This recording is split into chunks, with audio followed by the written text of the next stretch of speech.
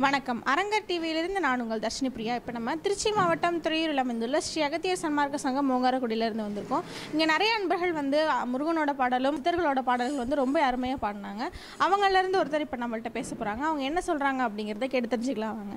வணக்கங்க ஐயா. வணக்கம். உங்களுடைய பேருங்க ஐயா? என் பேர் ராமசாமிங்க. சரிங்க நான் கோயம்புத்தூர்லேருந்து வர்றோம். சரிங்க ஐயா. நாங்கள் வந்து இதுக்கு முன்னாடியே வந்து ஒரு பதினஞ்சு வருஷத்துக்கு முன்னாடி நான் வந்திருக்கீங்க. அந்த அனுபவம் எப்படின்னா கவனகர் நீங்கள் எல்லாருமே கேள்விப்பட்டிருப்பாங்க. ஆமாங்க ஐயா.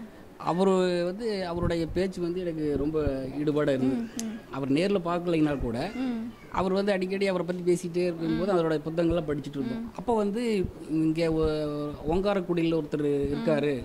ரங்கராஜ தே- தேசிக சுவாமிகள்னு ஒருத்தர். இந்த மாதிரி அன்னதானமெல்லாம் நல்லா பண்ணிட்டு இருக்கிறாரு. வள்ளலார் மாதிரி அது பண்ணிட்டு இருக்கிறாருங்கிறத கேள்விப்பட்டு நானும் என்னுடைய நண்பர் ஒருத்தர் இளங்கோன்னு சொல்லிட்டு அவர் நானும் இந்த சிதறகளை பற்றி நிறைய நாங்கள் அப்பப்போ ஆராய்ச்சி பண்ணிட்டு நிறைய இடத்துக்கு போயிருக்கோம். ஆராய்ச்சின்னு சொல்ல முடியாது. நமக்கு சிதறகள் மேலே ஒரு ஈடுபாடு. அதனால் நாங்கள் அது அது யார் இந்த மாதிரி இருக்காங்களோ அவங்க எல்லாம் போய் சந்திக்கணும்னு நினச்சிட்டு வருவோம். நான் ஒரு பதினஞ்சு வருஷத்துக்கு முன்னாடி வந்துட்டு போயிருக்கேன். அப்புறம் அதுக்கப்புறம் நம்ம இங்கே வர்றதுக்கான வாய்ப்பு எனக்கு கிடைக்கல. இப்போ பார்த்து சமீபத்தில் இவர் லோகராஜன் அவர்களை நான் சமீபத்தில் ஒரு ஆறு மாதத்துக்கு முன்னாடி தான் ஒரு இவருடைய அறிமுகம் ரொம்ப ஜாஸ்தி எனக்கு கிடைச்சது.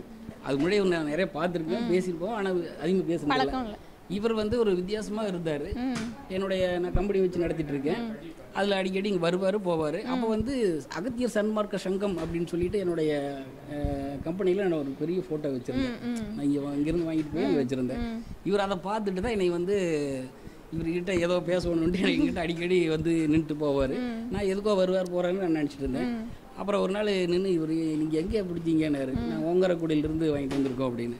அதுக்கப்புறம் கொஞ்சம் கொஞ்சமாக கொஞ்சம் கொஞ்சமாக இவரை பற்றி பேசும்பொழுது இவர் வந்து சித்தர்களை பற்றி நிறைய பாட்டுகள் பாடி நிறைய எழுதியெல்லாம் வச்சுட்டு அவரேவே தன்னை எழுதுவார். எழுதிட்டு பாடல்கள்லாம் பாடுவார். அப்புறம் இவர் மேலே எனக்கு ஒரு ஈடுபாடு வந்துச்சு. அதுக்கப்புறம் நாங்கள் இதெல்லாம் ஒன்று சேர்த்து சதுரகிரி அந்த மாதிரி முக்கியமான இடங்கள் சித்தர்கள் எல்லாம் எங்கெங்கெல்லாம் இருப்பாங்கன்னு கேள்விப்படுறோமோ அங்கெல்லாம் போவோம். சரி இப்போ வந்து ஓங்காரக்குடிலுக்கு நம்ம எப்போவாது போகணும் அப்படின்ட்டு பேசிகிட்டு இருந்தோம். இவர் திடீர்னு ஒரு யோசனை பண்ணார். சரி கண்டிப்பாக போயிடுவோம் அப்படின்னு சொல்லி- சொல்லி போட்டு ஒரு பதினஞ்சு நாளைக்கு முன்னாடி தான் யோசனை பண்ணார். சரி போயிட்டே வந்துடலாம்னு சொல்லி நாங்கள் வந்திருக்கோம். இங்கே வந்ததில் எங்களுக்கு மிகப்பெரிய மகிழ்ச்சியாக இருக்குது எங்களை எல்லாம் உட்கார வச்சு எங்களுக்கு எங்கள் அரங்கம் அமைச்சு இவ்வளோ ஒரு சிறப்பான ஒரு மரியாதை கொடுத்து எங்களுக்கு இவ்வளோ மரியாதை கொடுத்ததுக்கு ரொம்ப நன்றி. மேற்கொண்டு இவர் வேறு ஏதாவது சொல்லுவோம் சரிங்க.